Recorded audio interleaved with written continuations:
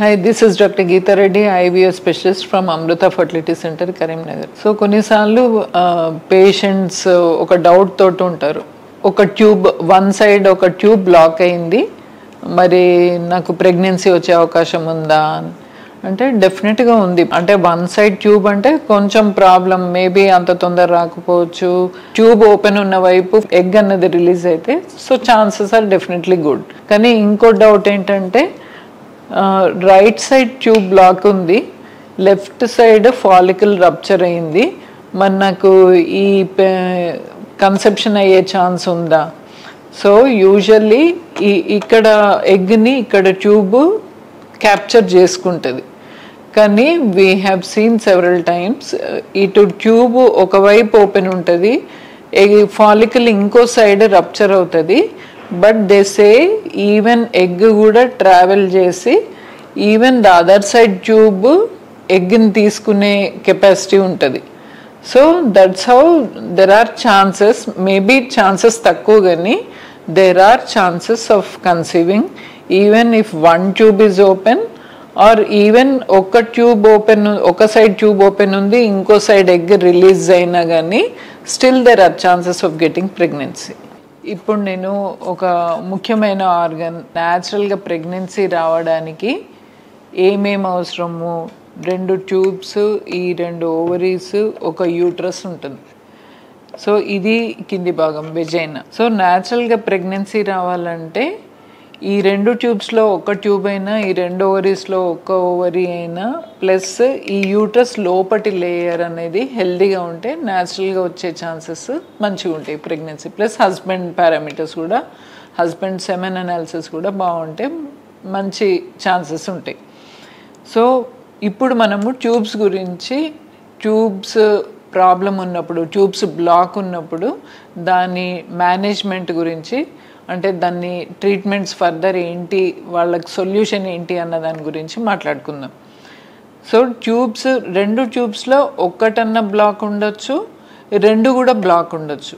ఒక్క side block ఉన్నట్టయితే వాళ్ళకి స్టిల్ ఛాన్సెస్ ఆఫ్ గెటింగ్ అంటే ప్రెగ్నెన్సీ రావడానికి ఛాన్సెస్ ఉంటాయి.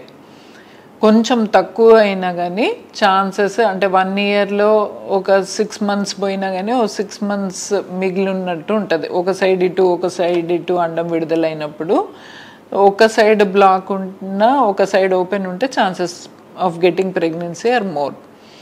ఇంకా రెండు సైడ్స్ బ్లాక్ ఉన్నట్టయితే మరి నెక్స్ట్ వాట్? సో ఒకటి బ్లాక్ కూడా ఎక్కడ ఏ చోట ఉంది? బ్లాక్ అనేది ఈ యూట్రైన్ ఎండ్స్ అంటే యూట్రస్కి దగ్గరగా ఉంటే హిస్ట్రోస్కోపిక్ క్యాన్యులేషన్ అంటే ల్యాప్రోస్కోపీ పైనుంచి కింద నుంచి హిస్టిరోస్కోపీ అనేది వేసి ఈ స్కోప్ నుంచి ఒక సన్నటి గైడ్ వైర్ అన్నది సన్న వైర్ ఉంటుంది. ఇప్పుడు సేమ్ ఇప్పుడు డ్రైనేజ్లో ఒకవేళ మురికి తట్టుకుంటే ఎట్లయితే మనం నెట్టుతారో సేమ్ అదే విధంగా ఈ ఈ పాత్వే అంతా ఈ హోల్ని త్రూ చేయడానికి క్లియర్ చేయడానికి ఈ క్యాన్యులేషన్ అన్నది చేస్తాం. కానీ అగైన్ అది దాని సక్సెస్ ఎన్ని రోజుల నుంచి ఉంది బ్లాక్ ఎంత తీవ్రంగా ఉంది? ఎంత వెడల్పులు ఉంది? దాన్ని బట్టి సక్సెస్ రేట్ ఉంటుంది. సో కొందరికి తొందరగా తొలగిపోతుంది కొందరికి హార్డ్ ఉంటుంది అది కాని పరిస్థితి. ఇంకా కొంతమందికి బ్లాక్స్ ఇక్కడ ఉండొచ్చు కొన్నిసార్లు ఇది అఫెక్ట్ అవ్వచ్చు ఈ చివరి ఎండ్ సో ట్యూబ్ ఒక ఓపెన్ ఉండడమే కాదు దాని స్ట్రక్చర్ బాగుండాలి దాన్ని ఈ ఈ చివరి ఎండ్ మంచి ఫ్లవర్ ఎండ్ లాగా ఉండాలి ఒక పువ్వు లాగా ఉండాలి. సో ఇవి ఇవి కనుక అఫెక్ట్ అయినట్టయితే యూజువల్లీ సక్సెస్ రేట్ అన్నది తక్కువ అవుతుంది. అండ్ uh, సమ్వేర్ ఇక్కడ ఫ్యామిలీ ప్లానింగ్ ఆపరేషన్ తోటి ఇది బ్లాక్ అయి ఉండొచ్చు. లేదా ఎక్టోపిక్ ప్రెగ్నెన్సీ ఎప్పుడైతే ప్రెగ్నెన్సీ ఇక్కడ అయినప్పుడు మనం సర్జరీ చేస్తే ఇక్కడ బ్లాక్ అయిపోతుంది. సో ఇట్లాంటప్పుడు ఆ పార్ట్లో మళ్ళీ కట్ చేసి ఈ రెండు ఎండ్స్ కుట్లు వేస్తారు. అంటే సర్జరీ ట్యూబల్ అనాస్టమోసిస్ అంటే రెండు దగ్గరికి తెచ్చి మళ్ళీ రీకన్స్ట్రక్షన్ అంటే మళ్ళీ తిరిగి యథావిధిగా కుట్లు వేసినట్టు ఉంటుంది. ఇవన్నీ సర్జరీస్ ట్యూబల్ సర్జరీస్ ఎట్లా అంటే దాని సక్సెస్ ఈ లెంత్ ఆఫ్ ద ట్యూబ్ ఎంత మిగిలింది హెల్దీ ట్యూబ్ ఎంత మిగిలింది ఈ చివరి ఎండ్ ఎంత హెల్దీగా ఉంది ఇది ఎన్నాళ్ళైంది ఆపరేషన్ అయ్యి ఆర్ ఎక్టోపిక్ ఆపరేషన్ కానీ లేకపోతే ఎన్నాళ్ళ నుంచి ఇన్ఫెక్షన్ ఉంది వీటన్నిటిని బట్టి దీని సక్సెస్ ఉంటుంది. కానీ ఈ మధ్యకాలంలో టెస్ట్ యూ బేబీ అంటే ఐవీఎఫ్ అనేది వచ్చి ఐవీఎఫ్ ఒకప్పుడు ఎక్కడో ఉండేది. ఇప్పుడు దాదాపు ప్రతి ఊర్లో ఐవీఎఫ్ సెంటర్స్ ఉన్నాయి. సో ఐవీఎఫ్లో సక్సెస్ రేట్ కూడా పెరిగింది. దాని గురించి వీలైనంత వరకు చాలాసార్లు పేషెంట్ ఏమాత్రం అఫోర్డబుల్ ఉన్నా ఎందుకంటే ఆల్మోస్ట్ కాస్ట్ కూడా అంతే అవుతుంది. కాకపోతే ఈ ట్యూబల్ సర్జరీలో ఒక్కసారి సక్సెస్ అయినట్టయితే వాళ్ళకి ఎల్లప్పటికీ అంటే ఒకరు ఇద్దరు బేబీస్కి ఛాన్స్ ఉంటుంది. ఐవీఎఫ్లో మాత్రము అంటే సక్సెస్ బాగుంది కానీ మనం ఎప్పుడైతే ఎంబ్రియోస్ పెడతామో అప్పుడే దాని సక్సెస్ రేట్ ఉంటుంది.